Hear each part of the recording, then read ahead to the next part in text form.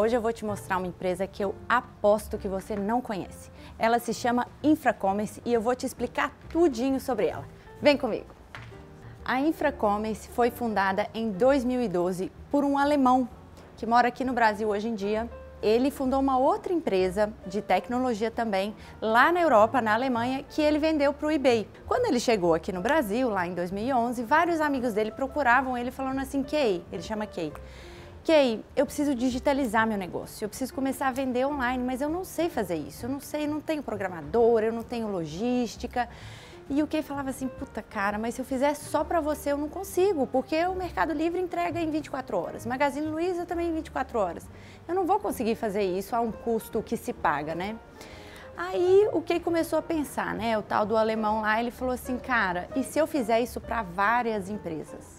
Então foi isso que ele fez. Em 2012 nasceu a Infracommerce e FMC3 é uma companhia aí do novo mercado, talvez alguns já tenham comprado, mas é uma companhia que ainda passa ao largo do radar dos grandes gestores do Brasil.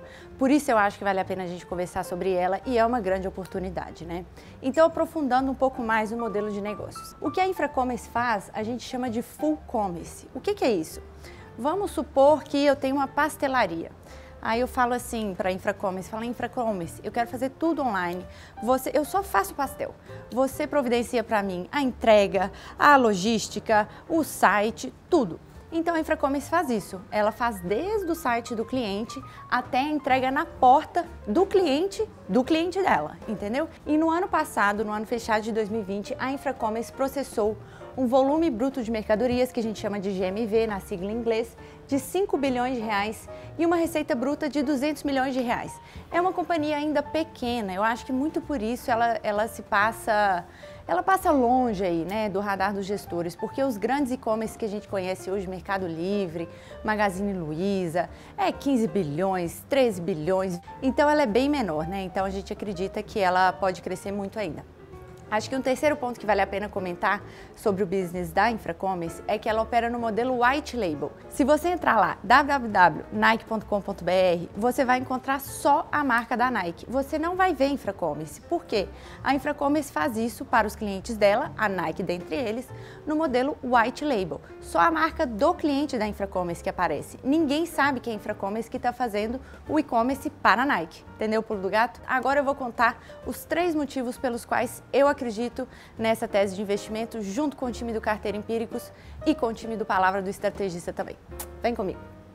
O primeiro ponto é o negócio, né? Então, como a gente descreveu ali brevemente, com a escala que a Infracommerce tem, ela consegue oferecer um nível de serviço satisfatório, parecido com os das grandes plataformas de e-commerce, como Mercado Livre, Magazine Luiza, e consegue extrair um lucro razoável, né? Ela gera um EBITDA aí, um lucro positivo já foi positivo no ano passado. A Infracommerce ela faz tudo isso, desde o pagamento até a entrega. Então isso traz uma vantagem competitiva interessante para ela que ela consegue oferecer para o cliente um nível de serviço que poucos outros provedores vão conseguir. O segundo ponto, a proteção dos dados. Sabe por quê que o empresário tem medo de ser seller ou vendedor abrir uma lojinha virtual no Mercado Livre ou na Magazine Luiza? Porque essas grandes plataformas consideram que o dado do cliente que entra lá para comprar é dela, não da loja que está oferecendo aquele produto ou serviço. E a Infracommerce deu um passo para trás. O que, que ela falou? Opa, eu vou prometer para o meu cliente que eu não vou pegar os dados do cliente dele. Assim, o cliente fica seguro em se tornar dependente de mim no online, entendeu? Então assim o cliente fica cada vez mais dependente dele e é uma vantagem competitiva interessante. O terceiro ponto, e esse é bem contraintuitivo, né? Porque eu falei aqui que a Infracommerce ajuda na entrega. Então ela tem vários centros de distribuição, ela tem uma rede de provedores, de, né, de transportadoras que ajudam a levar os produtos aí até o cliente final, mas ela não compra o estoque da Nike para depois vender para o cliente final. O que, que a Infracommerce faz? Ela faz o manuseio do estoque das blusas, dos tênis, enfim, de todos os produtos, entrega para o cliente final. Quando ela vai repassar a receita da Nike, que o produto é da Nike, afinal de contas, ela retém o take rate dele. O que, que isso significa na prática para a gente que está pensando em se tornar acionista? Baixo investimento em capital de giro. Com isso, os retornos se tornam mais atrativos quando comparados a uma empresa que opera no que a gente chama de 1P, de first party, né, que eu opero com os produtos aí no meu próprio balanço. Então é um excelente negócio. Agora vamos para o segundo ponto, que é o crescimento de receita e de lucro. A Infracommerce, ela opera mais no segmento B2B. O que, que isso significa? O exemplo que eu dei da Nike é um exemplo de cliente B2C da Infracommerce, porque o cliente da Nike já é o consumidor final. Agora, a maioria dos clientes da Infracommerce são empresas que operam ainda na distribuição, que vendem para os varejistas. Por exemplo, Unilever, que vende para supermercados e farmácias, Nestlé, que vende para lojas de conveniência, Ambev, que vende para bares e restaurantes. Todas essas empresas que eu mencionei agora aqui são clientes da Infracommerce. E o que, que a Infracommerce faz? Fala assim, Ambev, deixa eu entregar suas cervejas, fazer digitalizar tudo eu vou entregar tudo para você direto no seu, no seu cliente barista, dono do restaurante, e a gente resolve tudo. Ah, inclusive, sabe aquele aplicativo Zé Delivery que você usa, que eu sei, para pedir a sua cerveja? Quem faz todinho ele, do início ao fim, é a Infracommerce. Mas você nem sabe, fica tudo com a marca da Ambev. Então a maior parte do GMV de Infracommerce, né, esses 5 bi que eu mencionei aqui, desses 5, 4 bi são no B2B e 1 bi é no B2C, de clientes como Nike, por exemplo. Então, se a gente for olhar para o potencial de crescimento, a gente tem que focar muito mais no potencial de crescimento do e-commerce no B2B do que no B2C, entendeu? Então, hoje, se a gente for olhar no Brasil, 10% de todo o comércio varejista, varejista B2C, hein, é feito online. Se a gente for olhar no B2B, no que a Nestlé distribui para o cliente, no que a Ambev distribui no restaurante, isso é 1%. Tá entendendo o potencial de crescimento que é muito maior? E aí, se a gente for comparar né, essa digitalização do B2B com outros países, nos Estados Unidos é 14% e na China 32% de todo o comércio B2B é realizado digitalmente. Olha o gap que tem aqui para ser preenchido. É muita coisa, entendeu?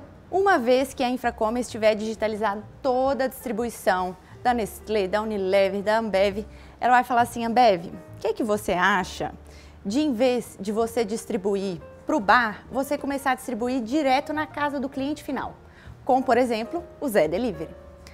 Por que, que isso é interessante tanto para a Ambev quanto para a Infracommerce? Porque o B2C ele é mais difícil de fazer a logística, porque são mais pontos de entrega. Então, a Infracommerce ela consegue cobrar um take rate maior do que ela cobra no B2B. E por que, que isso é bom para a Ambev? Porque a Ambev quer levar a marca dela para o cliente final, não a marca do restaurante. Então, uma vez que a Ambev já tiver, vamos colocar, dependente da Infracommerce no B2B, ela vai lá e oferece o B2C e assim todos ganham mais. Olha que interessante. Esses dois pontos aqui são pontos que geram crescimento de receita, né? Então, tanto no B2B quanto no B2C. Mas como que isso se traduz em lucros, né? Não adianta crescer só a receita. A gente, acionista, investidor, a gente quer que a empresa lucre mais, não só venda mais, né? E aí, por causa do baixo investimento que a gente está falando, da alavancagem operacional enorme, o que, que isso quer dizer? A Infracommerce teve que fazer um grande investimento em tecnologia para botar de pé o centro de distribuição, para formar uma malha de transportadora satisfatória. Mas dali para frente, ela não precisa investir muito mais a cada usuário, a cada cliente que ela conquista. Então, a receita ela vai crescendo muito mais do que os custos daqui para frente. E isso a gente chama de alavancagem operacional. A receita cresce muito mais do que os custos e com isso a margem vai se expandindo. Então, essa é a beleza de você investir numa empresa em estágios iniciais, né? Ela ainda tem muita alavancagem operacional para capturar e a gente acha que é isso que vai acontecer com a Infracommerce, uma expansão de lucros nos próximos cinco anos. Beleza, é uma excelente empresa, é um ótimo negócio, grande potencial de crescimento, mas como a gente viu no nosso vídeo anterior sobre como escolher uma ação, a gente precisa olhar se está barata, não é mesmo? Então vamos olhar para isso. Para e-commerce eu gosto muito de olhar para EV Receita, é bom a gente olhar pelo menos 12 meses para frente. Aqui eu já peguei logo a projeção de receita de mercado, de consenso para 2022, que é o ano que vem, então um pouquinho mais de 12 meses para frente, porque são empresas que crescem muito, né? E são empresas que nem sempre dão lucro. E aí aqui eu peguei com alguns comparáveis. Eu escolhi três comparáveis a dedo aqui e tem que ser comparáveis mesmo, viu, gente? Então eu escolhi Shopify, que é uma empresa canadense que faz uma coisa muito parecida com a Infracommerce, só que A diferença é que a marca da Shopify aparece, né? Ela lembra um pouco assim o Mercado Livre, apesar de não ser exatamente igual. A gente pode fazer um vídeo sobre ela, inclusive. Coloca aqui no comentário se você quer. É a Local Web, que todos nós conhecemos, né, que é uma provedora aí de software as a service, e a Mercado Livre, que acho que eu não preciso nem explicar, né? Então eu peguei esse múltiplo e comparei para, para essas quatro empresas. Shopify, a canadense, ela negocia a 31 vezes a receita do ano que vem. Local Web a 14 vezes, Mercado Livre 9 vezes e nossa querida Infracommerce 7 vezes. Então eu acho que assim, ela tá bem barata. Eu não vou falar que ela tá de graça não, porque de graça tá a Magazine Luiza, mas essa aqui tá barata. Então, eu acho que é isso. Ótimo negócio, bons crescimentos, valuation atrativo. Eu acho que Infracommerce tem tudo para voar nos próximos meses, continuar voando mesmo com reabertura e vem comigo nessa aposta. Espero que você tenha gostado do vídeo, dê seu like aqui, compartilhe com seus amigos e aponte seu celular para o QR Code que está aparecendo aqui na tela, se você quiser ter acesso à nossa série que tem essas análises e muitas outras para você se divertir. Se você quiser uma foto desse quadro aqui em alta resolução, manda uma mensagem que a gente manda direto do nosso grupo do Telegram. Um abraço, até o próximo vídeo.